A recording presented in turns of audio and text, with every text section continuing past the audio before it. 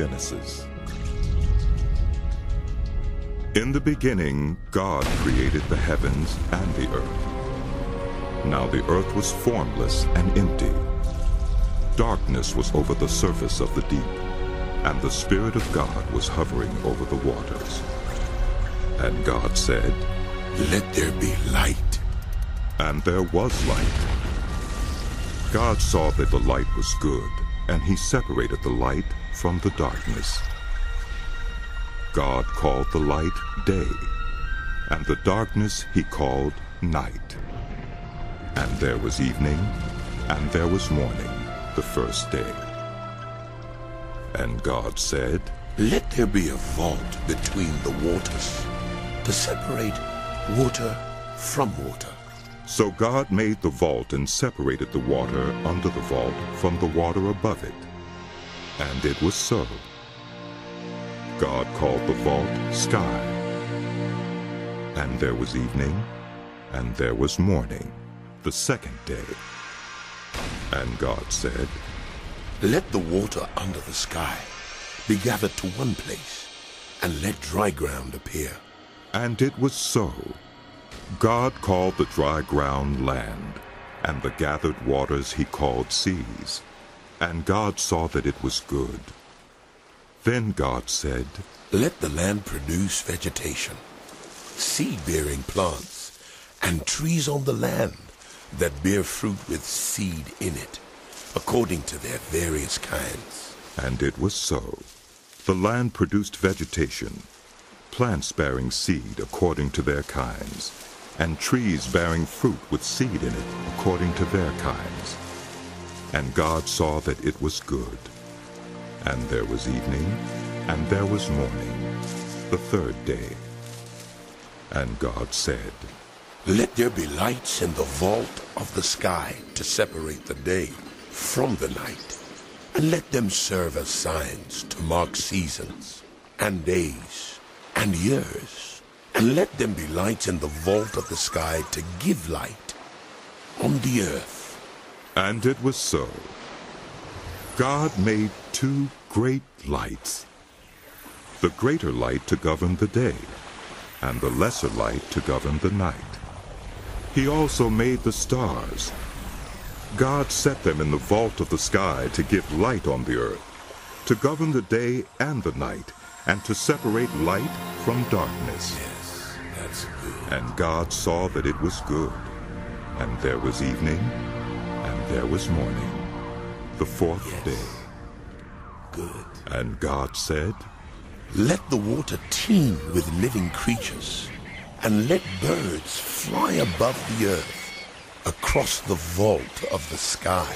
So God created the great creatures of the sea, and every living and moving thing with which the water teems, according to their kinds, and every winged bird according to its kind. And God saw that it was good. God blessed them and said, Be fruitful and increase in number, and fill the water in the seas, and let the birds increase on the earth. And there was evening, and there was morning, the fifth day. And God said, Let the land produce living creatures according to their kinds, livestock, creatures that move along the ground, and wild animals, each according to its kind. And it was so.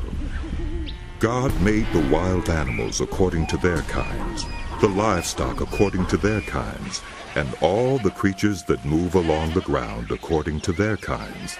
And God saw that it was good. Then God said, Let us make human beings in our image, in our likeness, so that they may rule over the fish in the sea and the birds in the sky, over the livestock and all the wild animals and over all the creatures that move along the ground.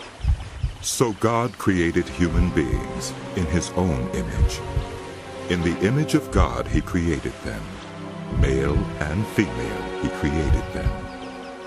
God blessed them and said to them, Be fruitful and increase in number. Fill the earth and subdue it. Rule over the fish in the sea and the birds in the sky, and over every living creature that moves on the ground. Then God said, I give you every seed-bearing plant on the face of the whole earth, and every tree that has fruit with seed in it. They will be yours for food. And to all the beasts of the earth, and all the birds in the sky, and all the creatures that move on the ground, everything that has the breath of life in it, I give every green plant for food. And it was so. God saw all that he had made, and it was very good. And there was evening, and there was morning, the sixth day. Thus the heavens and the earth were completed in all their vast array. By the seventh day, God had finished the work he had been doing. So on the seventh day, he rested from all his work. Then God blessed the seventh day and made it holy, because on it he rested from all the work of creating that he had done. This is the account of the heavens and the earth when they were created, when the Lord God made the earth and the heavens. Now no shrub had yet appeared on the earth, and no plant had yet sprung up. For the Lord God had not sent rain on the earth, and there was no one to work the ground. But streams came up from the earth, and watered the whole surface of the ground. Then the Lord God formed a man from the dust of the ground, and breathed into his nostrils the breath of life, and the man became a living being. Now the Lord God had planted a garden in the east, in Eden, and there he put the man he had formed. The Lord God made all kinds of trees grow out of the ground, trees that were pleasing to the eye and good for food. In the middle of the garden were the tree of life, and the tree of the knowledge of good and evil. A river watering the garden flowed from Eden. From there it was separated into four headwaters. The name of the first is the Pishon. It winds through the entire land of Havilah, where there is gold. The gold of that land is good. Aromatic resin and onyx are also there. The name of the second river is the Gihon. It winds through the entire land of Cush. The name of the third river is the Tigris. It runs along the east side of Ashur. And the fourth river is the Euphrates. The Lord God took the man and put him in the Garden of Eden to work it and take care of it. And the Lord God commanded the man, You are free to eat from any tree in the garden, but you must not eat from the tree of the knowledge of good and evil. For when you eat of it, you will certainly die. The Lord God said, hmm. It is not good for the man to be alone. I will make a helper suitable for him. Now the Lord God had formed out of the ground all the wild animals and all the birds in the sky. He brought them to the man to see what he would name them. And whatever the man called each living creature, that was its name. So the man gave names to all the livestock, the birds in the sky, and all the wild animals. But for Adam no suitable helper was found. So the Lord God caused the man to fall into a deep sleep. And while he was sleeping, he took one of the man's ribs, and then closed up the place with flesh. Then the Lord God made a woman from the rib he had taken out of the man, and he brought her to the man. The man said, Ah, This is now bone of my bones and flesh of my flesh. She shall be called woman, for she was taken out of man. For this reason a man will leave his father and mother and be united to his wife, and they will become one flesh. One flesh. The man and his wife were both naked, and they felt no shame. Now the serpent was more crafty than any of the wild animals the Lord God had made. He said to the woman, Did God really say you must not eat from any tree in the garden? The woman said to the serpent, We may eat fruit from the trees in the garden, but God did say, You must not eat fruit from the tree that is in the middle of the garden, and you must not touch it, or you will die. You will not certainly die, for God knows that when you eat of it, your eyes will be opened, and you will be like God, knowing good and evil. When the woman saw that the fruit of the tree was good for food and pleasing to the eye, and also desirable for gaining wisdom, she took some and ate it. She also gave some to her husband, who was with her, and he ate it. Then the eyes of both of them were opened, and they realized they were naked. So they sewed fig leaves together and made coverings for themselves. Then the man and his wife heard the sound of the Lord God as he was walking in the garden in the cool of the day. And they hid from the Lord God among the trees of the garden. But the Lord God called to the man. Where are you? He answered, I heard you were in the garden, and I was afraid because I was naked, so I hid.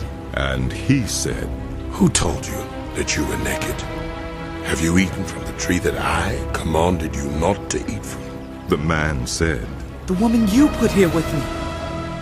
She gave me some fruit from the tree.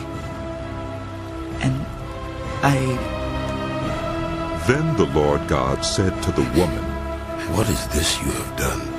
The woman said, The serpent deceived me, and I ate. So the Lord God said to the serpent, Because you have done this, cursed are you above all livestock and all wild animals. You will crawl on your belly, and you will eat dust all the days of your life. And I will put enmity between you and the woman, and between your offspring and hers. He will crush your head, and you will strike his heel. To the woman he said, I will make your pains in childbearing very severe. With pain you will give birth to children. Your desire will be for your husband, and he will rule over you. To Adam he said, Because you listened to your wife and ate from the tree about which I commanded you, you must not eat of it. Cursed is the ground because of you. Through painful toil, you will eat of it all the days of your life. It will produce thorns and thistles for you, and you will eat the plants of the field.